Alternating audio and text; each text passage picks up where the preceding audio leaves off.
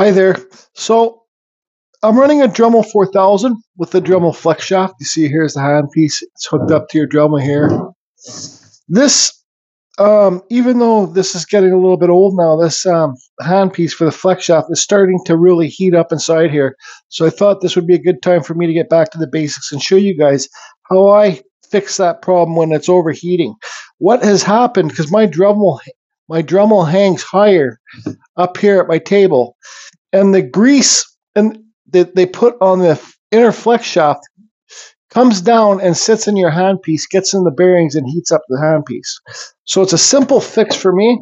I don't care what anybody says. I usually don't have a problem with my handpieces overheating because I take care of this problem because I haven't done it yet with this. So you can see here the grease on there. Um, I got it apart.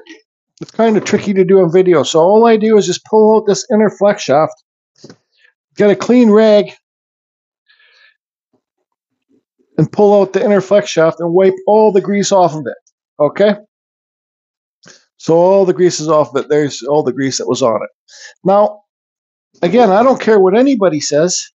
I think these run better with less grease. Sometimes when you buy a brand new Dremel um, flex shaft, it will come from the thing with too much grease in it, you take the grease out right away.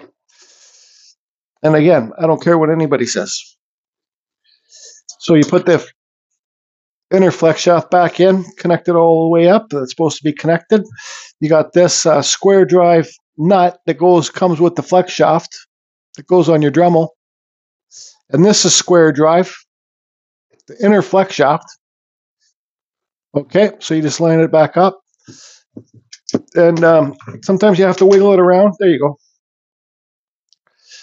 Now, I can't do this on video, but what I do is I turn my Dremel on full blast. I'll try and show you guys. I, I let my Dremel hang down low, and I hold this handpiece up as high as I can go. So if this handpiece has a bunch of grease in it, the grease is going to eventually, it's going to get hot because you're running this thing full throttle. It's going to get hot and it's going to run down all back down your flex shaft. And then you shouldn't have a problem with your handpiece um, heating up anymore. So let's get the Dremel hanging down. Dremel's hanging down. It's hooked up to a foot pedal and turn this on full blast.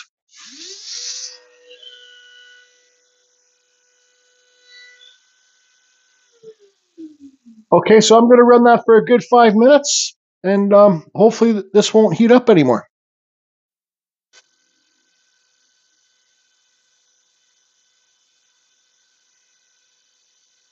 And there you go. There is how I make my handpiece not uh, heat up anymore.